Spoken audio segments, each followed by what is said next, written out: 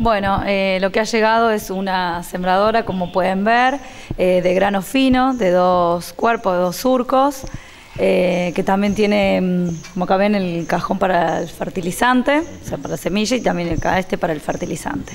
esto se obtuvo en el marco de las Olimpiadas de Agropecuaria que se hicieron hace unos días en la localidad de La Borde.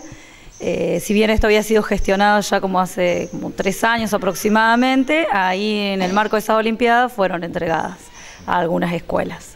Eh, así que bueno, tuvimos la suerte de que bueno, nos tocó a nosotros eh, ser una de las escuelas que le entregaron esta sembradora, además también, que creo que ya lo pasaron en otra nota, eh, la estación meteorológica. Sí, también. Así que bueno, la verdad que es un gran aporte para la especialidad agropecuaria, además que bueno, para la escuela también como institución.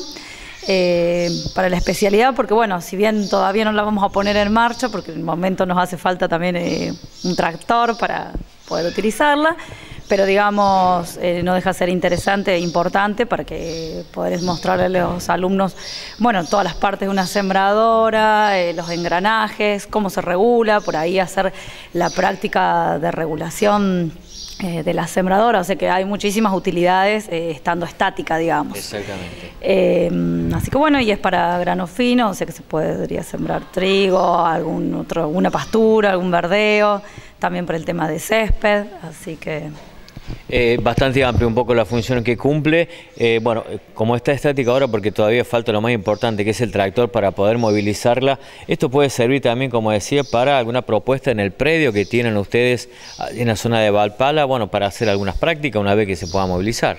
Exactamente, eh, al ser también pequeña, por ahí sirve para algún tipo de ensayo en donde uno hace parcelas pequeñas y puede ir probando, bueno, distintas variedades o hacer ensayos con diferentes dosis de fertilizante, o sea, todo lo que uno, digamos, todas las variables que uno quiera medir en algún determinado cultivo.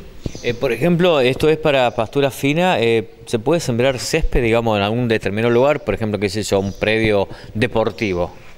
Sí, sí, se podría sembrar.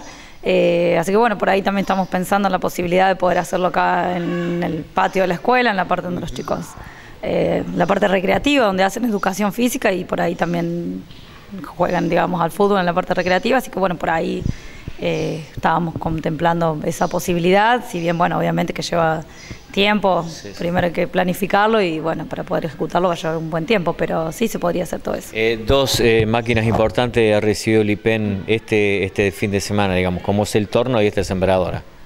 Exactamente, la verdad que son dos eh, aportes importantes para, las especialidades, para la escuela en general. Y bueno, aprovecho eh, esta nota para comentarles que también este miércoles, eh, con la especialidad agropecuaria, vamos a estar participando en el encuentro de escuelas agrotécnicas y con orientación medio ambiente en la localidad de Las Higueras, con los alumnos de quinto año de la especialidad agropecuaria. También van los anexos, el anexo de Tosquita. Así que bueno, ya van a estar los chicos participando con stand, presentación de stand y en la presentación de charlas.